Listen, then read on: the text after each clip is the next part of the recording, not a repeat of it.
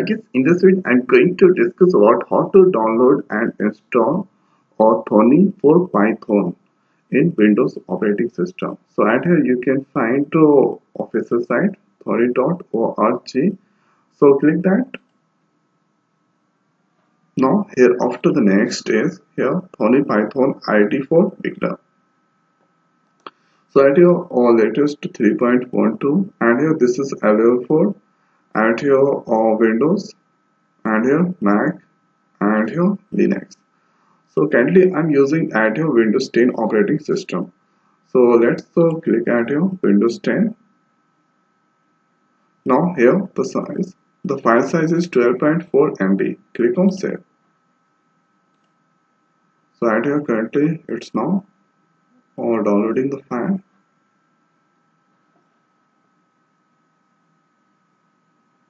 let's click on open file.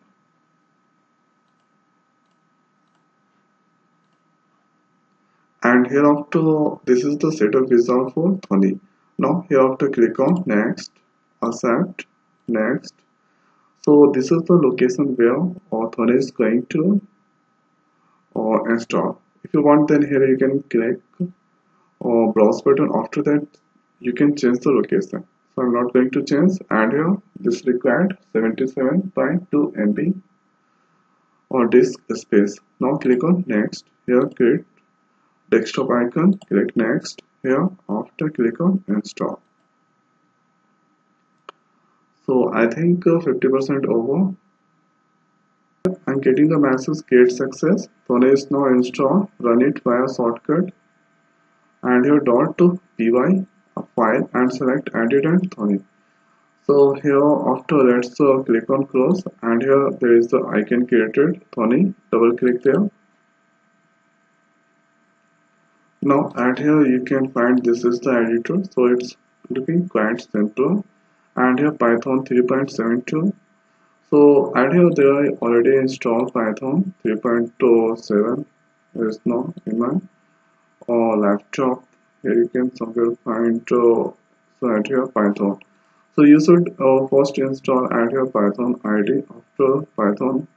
Simply you should try to add here python in google. After that you should download and install 3.7 so currently right right now it's the 3.7 is the currently uh, current version on the market. Now here after the next uh, thing is so add here this is for run here device tools now here auto uh, let's uh, create add a new project.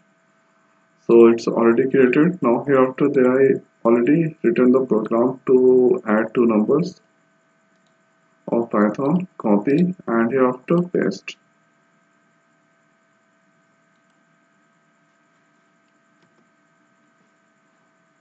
Now here after let's copy and paste.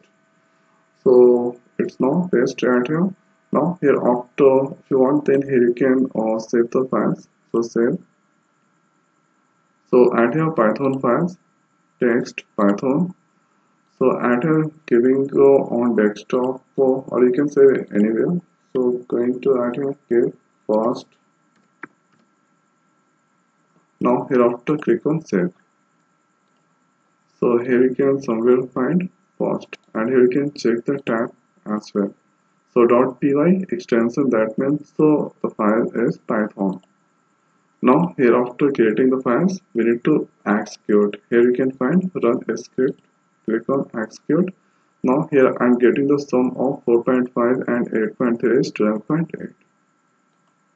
So if I do any kind of error like oh, let's change something. Now if you execute right here you can get to some kind of error message like uh, this is the assistant and here traceback here print some and here you get um is not defined.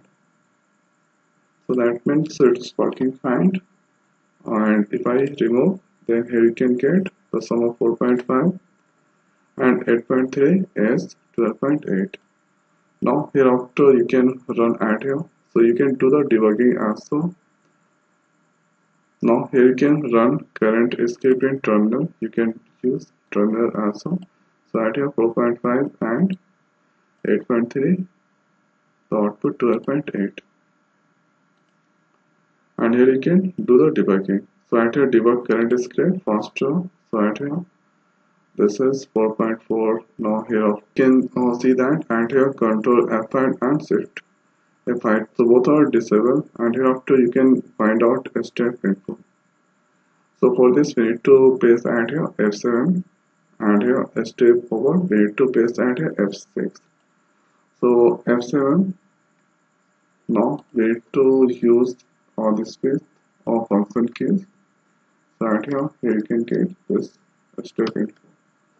Now here it's printing the sum of two number values now here after you can go check now here this part has been disabled and here this part enabled once again.